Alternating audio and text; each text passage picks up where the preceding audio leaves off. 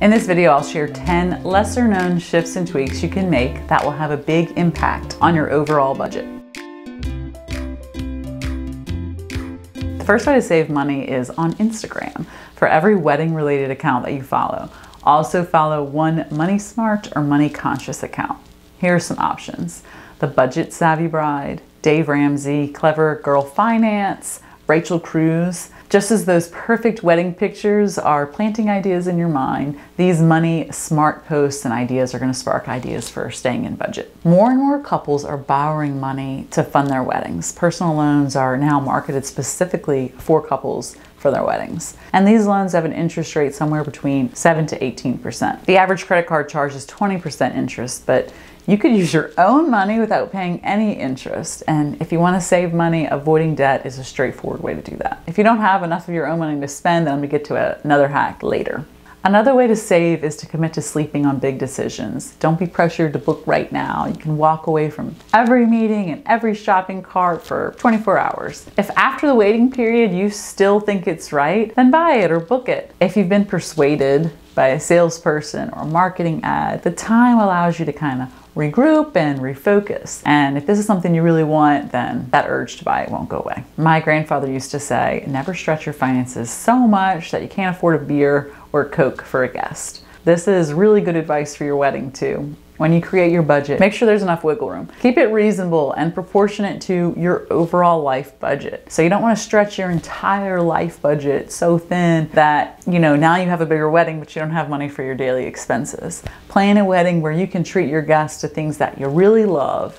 My grandfather really loved beer, so he offered it to his guests. I've seen couples who really love burgers or tacos or pizza, and they'll offer that as entrees for their wedding. Not only is it food they love, but it's also less expensive than a typical wedding menu item. So if you can forego items that aren't in your budget, then you'll have the cash to spoil your guests where it counts. All right, if you set a wedding budget that you can't seem to stretch to cover everything you want, look for ways to earn more money.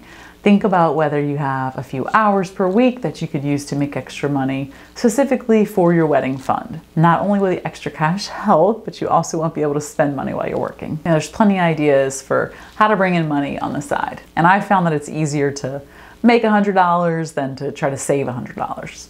Doing it yourself has become synonymous with saving money on weddings, but take it from someone who sees finish DIY projects weekend after weekend. Some of them are not money saving. I've seen DIY centerpieces that could have been outsourced at a fraction of the cost. I've picked up 100 DIY favors at the end of the night that the guests just didn't want. I've also seen clients trash decor that they had originally thought they could sell or rent after the wedding. I have seen the opposite. I had a bride who made her own centerpieces. She's an artist and they were beautiful. We had a bride who was a baker and she made all of her own favors. We also had a really thrifty bride who, after her wedding, took all of her candles that she had purchased and she rented them out several times and made her money back and more. So, in that second group, they're taking a skill they already have and they're using it to save money for their weddings. They chose a DIY project that had a really high return on the investment. So, before you pick up a DIY project or attempt to do a wedding professional's job on your own, make sure it's something that you enjoy doing, that you know how to do,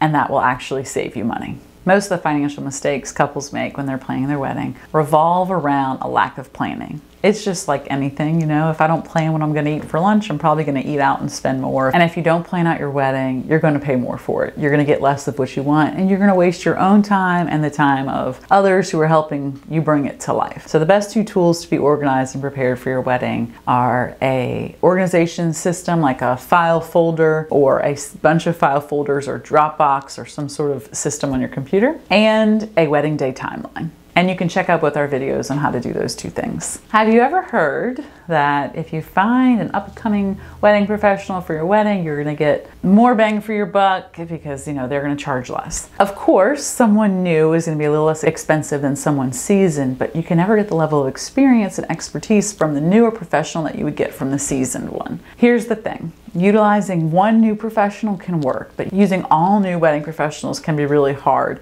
It's hard on the couple, it's hard on the rest of the professional professional team. If you want to save money like this, then take a look at your wedding vision and your budget and decide what element you're less concerned with. You know, so if you're not so worried about your music, then try to save money on your DJing. But if you really care about photography, that's not an area to choose a new professional. Next is another big way to save money on your wedding. Take a good look at what the services are that each of your wedding professionals provide in general and get an idea of what value you place on that service. So you want to choose professionals that have a price that matches the value you place on that service. And last, nothing controls expenses quite like watching them. So find a budget spreadsheet or an app that works well for you and commit to using it. Set aside some weekly time to go through and add all your wedding purchases and keep everything in that budget tracker. I hope you found this info valuable and that it will help you plan the wedding of your dreams, but free of financial regret. Check out our video on how to set a budget.